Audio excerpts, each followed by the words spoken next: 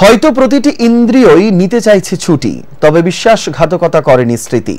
সেই স্মৃতির ঝাঁপি হাতড়েই তিনি খুঁজে আনছেন তার ভোটদানের নানান টুকরো ছবি। শতবর্ষ পার করেছেন চার বছর আগে। দুর্গাপুরের একুশ নম্বর ওয়ার্ডের নেতাজি নগর কলোনি দীর্ঘ পঁয়ষট্টি বছরেরও বেশি সময় ধরে বসবাস শেফালি সমাদ্দারের। দেশের প্রতিটি লোকসভা নির্বাচনে ভোট দিয়েছেন। সপ্তদশ নির্বাচনেও তিনি যাতে অংশ নিতে পারেন, তাই দুর্গাপুর মহকুমা প্রশাসনের তরফে তার জন্য গার্ডের ব্যবস্থা করা হয়েছে বলে জানিয়েছেন মহকুমা শাসক অনির্বাণ কোলে। এখনও অটুট বাকশক্তি, স্বাস্থ্যোজ্জ্বল মস্তিষ্কের প্রাসাদে বসবাস বলবান স্মৃতির। শতবর্ষ পার করেছেন বছর চারেক আগে। দুর্গাপুর নগর নিগম এলাকার প্রবীণতমা নাগরিক তিনি। দু হাজার চোদ্দ সাল পর্যন্ত ষোলোটি লোকসভা ভোটের সবগুলিতেই নিজের পছন্দের প্রার্থীকে ভোট দিয়েছেন শেফালি সমাদ্দার নামে এই বৃদ্ধা। আগামী উনতিরিশ এপ্রিল সপ্তদশ লোকসভা ভোটেও আঙুল ছোঁয়াতে চান ইভিএমে তবে বর্তমানে চলত শক্তিহীন তাই দুর্গাপুর মহকুমা প্রশাসনের তরফে শেফালি দেবীকে ভোট কেন্দ্রে নিয়ে যাওয়া এবং নিয়ে আসার জন্য বিশেষ গাড়ির ব্যবস্থা করা হয়েছে। সরকারি গাড়ি চড়েই ভোট কেন্দ্রে যাওয়ার ব্যবস্থা হওয়ায় সভাপতি অত্যন্তই খুশি শেফালি দেবী। হ্যাঁ এর আগে কতবার ভোট দিয়েছেন? অনেক বছর অনেকবার? হ্যাঁ। কেমন লাগে? ঠাকুমা এদিকে কেমন লাগে? ভোট দিতে? এবার ভোট দেবেন? দিব। ঠাকুর ঠাকুর যদি দেওয়াই তাই দিব। বাড়িতে আমি রিক্সে যাই। আপনাকে রিক্সায় যান। কোথায় আপনি ভোট দেন? এখানে সামনে স্কুলে? প্রত্যেকবার আপনি ভোট দিতে পেরেছেন? যতবার ভোট দিতে গেছেন নিজের ভোট দিতে পেরেছেন? হ্যাঁ পেরেছেন? শেফালি দেবীর নাতি সঞ্জীব সমাদ্দার জানিয়েছেন ভারত স্বাধীন হওয়ার সময় তৎকালীন পূর্ব পাকিস্তান থেকে ভারতে চলে আসেন তার ঠাকুমা। তখন থেকে দেশের প্রতিটি নির্বাচনে ভোট দিয়ে আসছেন। তো এসডি সাহেব নিজে এসে বলে গেলেন যে যাতে উনি ভোট কেন্দ্রে যেতে পারেন ভোট দিতে পারেন সেই ব্যবস্থা করে দেবেন গাড়িতে করে নিয়ে যাবেন এবং বাড়িতে ছেড়ে দিয়ে যাবেন। কে হয় সম্পর্কে? এটা আমার ঠাকুমা। কত বছর এখানে আছেন দুর্গাপুরে? এখানে মোটামুটি মানে ভারত স্বাধীন হওয়ার পর থেকেই উনি এখানে আছে আগে কোথায় থাকতেন?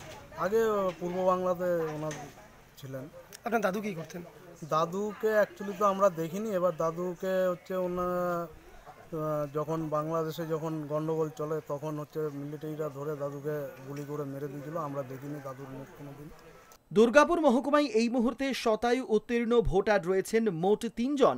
এদের একজন শেফালি দেবী অপর দুজন কাকসার বাসিন্দা।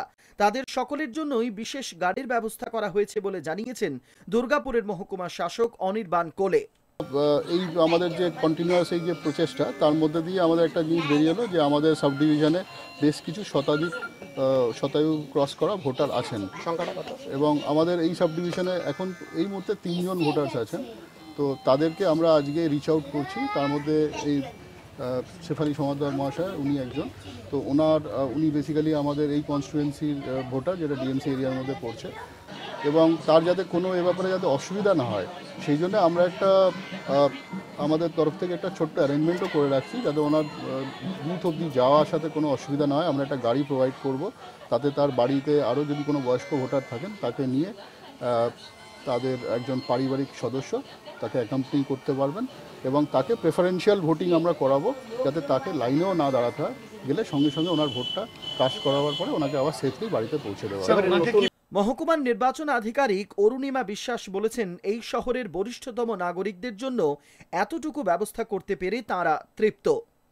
আহ, এটাই বলার জন্য যে মানে এক তো ওনার আহ, শারীরিক অবস্থা সম্পর্কে খোঁজ খবরও আহ, নিতে চাইছিলেন একবার এসডি সাহেব সেটা একটা এবং যদি ওনার যেতে চান আর কি, এবং আমি বললেন যে নিয়ে গেলে যাব মানে আমার দেখে মনে হচ্ছিল কি বলবেন বললেন নিয়ে গেলে যাব, সেক্ষেত্রে আমরা এটাই যে বাড়ি, আমাদের মানে ইলেকশন অফিসের তরফ থেকে একটা গাড়ি প্রোভাইড করা হবে এবং দরকার হলে হুইল চেয়ারও থাকবে, এবং আমরা এটাও দেখলাম যে এখানে আরেকজন বয়স্ক মহিলা আছেন যার মানে বেশ শারীরিক অক্ষমতা আছে, তো আমরা বলেছি ওনাকেও নিয়ে যেতে, ওনার পরিবারের লোকজনের সঙ্গে গিয়ে আর যাতে তারা গিয়ে সহজে ভোটটা দিয়ে আসতে পারেন, সেই ব্যবস্থা আমরা করব, সেটাই জানিয়ে গেলাম বিগত দিনে কোনো সরকারের পক্ষ থেকেই এমন অভিনব ব্যবস্থা করা হয়নি।